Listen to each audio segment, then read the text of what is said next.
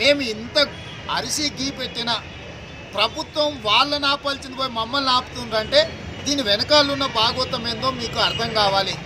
Events now dating కోసం మూడు వేల రూపాయలు కడితే ఐదు మంది అమ్మాయిలను ఏర్పాటు చేస్తాం అంటుందా? ప్రైవేట్ లిమిటెడ్ కంపెనీ రూల్స్ ప్రకారం ఆ events now company Raj Pakala పేరు మీద ఉంది. మూడు వేల రూపాయలు కడితే ఐదు మంది అమ్మాయిలతో మాట్లాడుకోవడానికి మేము ఏర్పాటు చేస్తామని ఏం వృత్తి అనాలే మీరు చెప్పండి. ఇది సక్రమమైన వృత్తేనా? అంటే ఇట్లాంటి ఇట్లాంటి రాజపాకాలు వచ్చేసి కేటీఆర్ బావమరిది.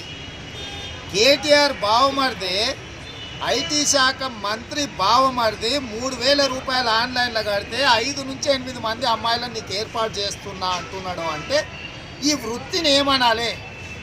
ఇది గౌరవప్రదమైన వృత్తేనా? ఆన్లైన్లో జరిగే చాటింగ్లను కానీ మేము సైబర్ క్రైమ్ కింద కేసులు పెట్టి అరెస్ట్ చేస్తున్నాం అని చెప్తున్నారు కదా పోలీసులు. ఇంత బాహటంగా ఒక కాంగ్రెస్ పార్టీ కార్యనిర్వాహక అధ్యక్షుడిగా పొద్దున్న నుంచి అరిసి చెప్తున్నా. ఎందుకు పోలీసులు సైబర్ క్రైమ్ కింద కేసు నమోదు చేసి అసలు ఈ అమ్మాయిలు ఎవరు ఈ అబ్బాయిలు ఎవరు దీంట్లో బుకింగ్ ఏంది ఈ ఈ మొత్తం ఫెసిలిటేట్ చేస్తున్న మధ్యవర్తి ఎవరు? ఎందుకు కేసు నమోదు చేస్తలేరు? ఏం ఒత్తిడి ఉంది పోలీసుల మీద? ఎవరు ఒత్తిడి మేరకు వదిలేస్తున్నారు? ఇది ఇట్లా జరగాల్సిందేనా? ఇది పద్ధత? ఇట్లాంటి వాటిని ముఖ్యమంత్రి గారు ప్రోత్సహిస్తారా? తన బంధువులే ఈ రకంగా చేస్తుంటే ముఖ్యమంత్రి గారు మిన్నకుట్ట ఉన్నారంటే వారికి తెలిసి జరుగుతుంది అనుకోవాలన్నా తెలియకుండా జరుగుతుంది అనుకోవాలన్నా అన్ని విషయాలు మాట్లాడతాడు కేటీఆర్ ప్రపంచంలో ఉన్నాయి. బామ్మార్ది చేసేది మాట్లాడా అంటే బామ్మార్ది బావ కళ్ళల్లో ఆనందం చూడడానికి ఇవన్నీ చేస్తుండ?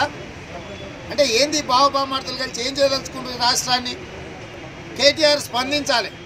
దేశం మీద పనికిమాలిన విషయాల గురించి చాలా విషయాల గురించి మాట్లాడతారు కదా.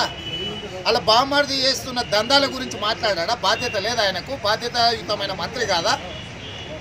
కాబట్టి ఈరోజు కేసీఆర్ కుటుంబం ఇట్లాంటి చిల్లర వ్యాపారాలు చేయడం అనేది సమాజాన్ని కించపరచడమే.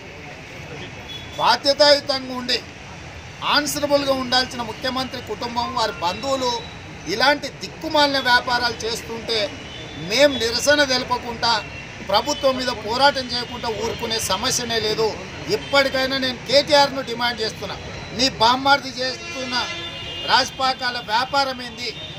ఈ వ్యాపారంలో ఉన్న లొసుగులేంది ఇందులో జరుగుతున్న అసాంఘిక కార్యక్రమాలు ఏంటో విచారణ చేసిన ప్రజలకు పూర్తి వివరాలను తెలియజెప్పాల్సిందిగా డిమాండ్ చేస్తున్నా.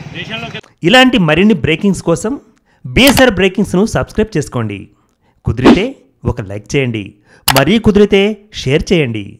ఒక నిమిషం బెల్ ఐకాన్ను మాత్రం క్లిక్ చేయడం మర్చిపోద్దే.